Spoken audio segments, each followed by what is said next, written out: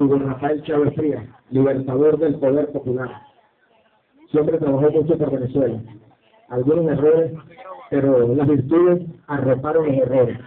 Un hombre bendecido del Señor. Ahora, así como dijo Martin Luther King, igualito nosotros decimos que tenemos un sueño, un sueño de que en este país nadie, absolutamente nadie, se acueste sin cenar. Porque tenemos a veces momentos en que a pesar de que somos un país extraordinariamente rico, tenemos 100 años de explotación petrolera. Esos 100 años viviendo del petróleo, 100 años viviendo de la renta petrolera. Y nos hemos olvidado de producir. Tenemos seguridad alimentaria, sí es cierto, porque estamos recibiendo alimentos de otros lados. Pero no tenemos soberanía alimentaria. Importante es que los productores y las productoras de Venezuela tengamos claro eso, que tenemos que producir, que tenemos que producir en nuestra nación, en nuestra patria. Y vean así como, como dice el ingeniero Gabardón, el camino es largo y lejos, como cuando nosotros nos iniciamos aquí en San Fernando, con tres personas, después cuatro, después cinco. Y ahora fíjense la cantidad que somos. Este es el camino. El camino para producir en el país es organizarnos, educarnos y devolvernos a lo que habíamos perdido, que es esa moral, esa buena costumbre y la calidad de la cultura del productor venezolano, que nos hemos ido a las otras ciudades, olvidando nuestros campos. Es el momento de volver al campo de nuevo a producir, porque vienen tiempos difíciles con el calentamiento global.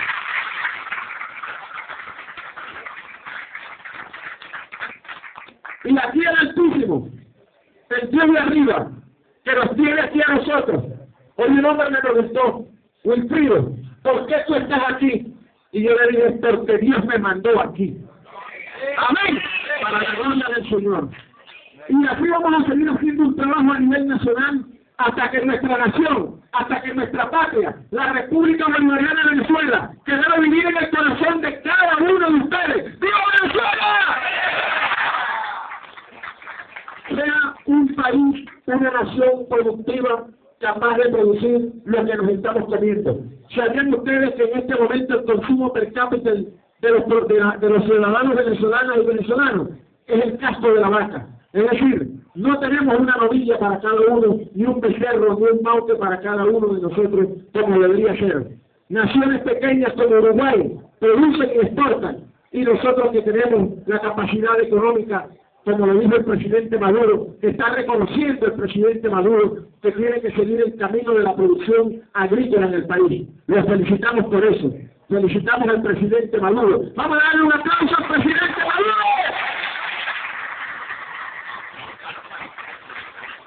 Pero también queremos resaltar aquí al ministro de Planificación, compañero Meguillo, y al ministro de la Banca Pública, al compañero general Marcos Torres, porque me observé en un programa de televisión donde él estaba conjuntamente con el presidente y los ministros, el ministro de Agricultura, Iván Gil, y el de la vicepresidencia, eh, perdón, el ministro de la presidencia, Iván Gil, y el ministro de Roterán, donde estaban haciendo entrega de una cantidad de recursos importantes para el desarrollo agrícola y la manufactura de la producción nacional en el campo de la agricultura y en el campo de la, de la eh, pecuario. Eso es importante porque es un principio para el desarrollo de la nación.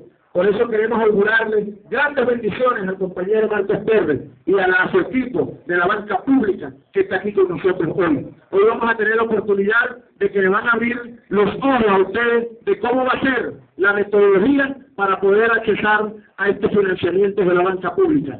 Pero más allá lo quiero resaltarle porque es muy importante que más allá de recibir el financiamiento, debemos tener un control, un seguimiento, una planificación y un análisis cierto de devolver el recurso que vamos a recibir, porque estamos plenamente seguros que vamos a recibir el recurso. Dios mediante y con la bendición del Señor.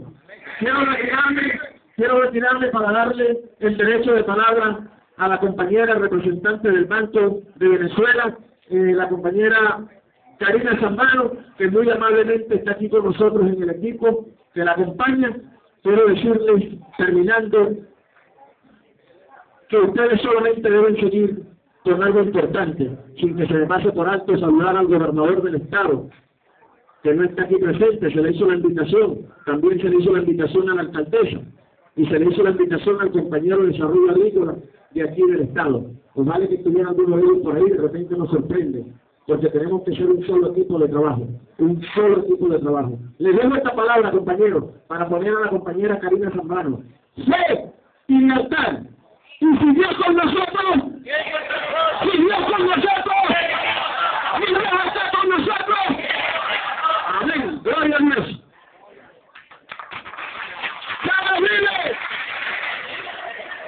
Venezuela, mi querida, mire, fíjense, me disculpa que me le robe esto, mi querida compañera de lucha. Eso que ella dijo, ahorita, en este instante, viva Venezuela, dije yo, y ella dijo, mi patria querida. Quiero resaltarles algo, que aquí vino el presidente uruguayo, compañero Pepe Mujica, y dijo, Venezuela es una tierra maravillosa, Venezuela es un país bendecido, y por dentro en su pensamiento estoy seguro que hoy día, si Venezuela, si Uruguay tuviera la extensión de tierra bendecida que tiene Venezuela, nosotros fuéramos los dueños del mundo. Les dejo ahí. ¿Ah? ¿Qué les parece? Vamos a decirle un video de Venezuela como y, y, y, rodearlo. Vamos a decirle un video de Venezuela para yo retirarme, no voy a decir más nada de verdad, porque me encanta a veces encadenarme como lo hacía el comandante Chávez. Pero yo quiero que ustedes se lleven muy en el corazón lo que es un video de Venezuela, pero que les nazca de adentro. Vamos a ver. ¡Viva Venezuela! No, no, con el alma con el corazón, que se siente capaz de esta nación grande y poderosa. Vamos a hacer una nación grande y poderosa, productiva. Vamos a ver. ¡Viva Venezuela!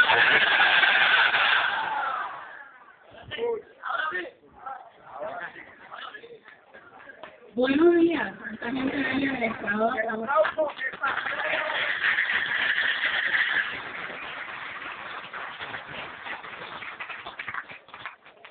Les voy a comentar que de verdad que hay un calor, pero un calor humano espectacular, de verdad que sí.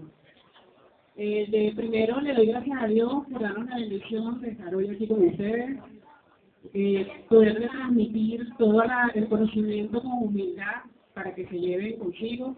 Agradecer también a nuestro general Marcos Torres, ministro de la Banca Pública, presidente del Banco de Venezuela y ministro de Economía y Finanzas.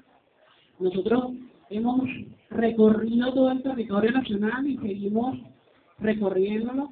Cuando por primera vez nos sentamos en la mesa de trabajo en Caracas con el señor Wilfrido y un equipo de trabajo que lo acompañó, una compañera decía, oye, es que yo me encuentro lejos y para que llegue al banco cuesta un poco. Y nosotros hacemos todo este sacrificio de verdad para llegar lejos, para escuchar las necesidades que tengan los productores, si Dios nos lo permite.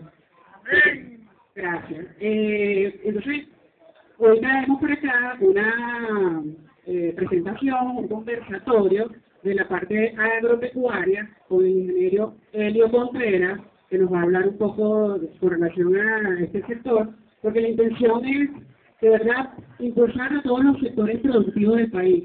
Y yo me imagino que aquí no solamente hay productores, también le vamos a hablar un poco de microcréditos, manufactura, y vamos a entenderlo por relación a estos temas para que ustedes se lleven un poco de cada información. Es importante que, así como ustedes reciban la información, nosotros siempre impulsamos desde el inicio la evaluación, la formación, porque entiendo que ustedes tienen la más, más que nosotros experiencia en lo que hacen, pero nosotros estamos ahí para hacer un acompañamiento, dar información, asesoría, formación y seguimiento a, a todos estos eh, productos.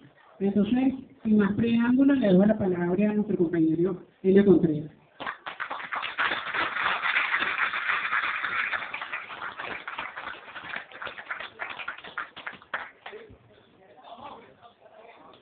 Ahí nos vemos todos, ¿verdad? ¿Sí nos vemos? No nos vemos.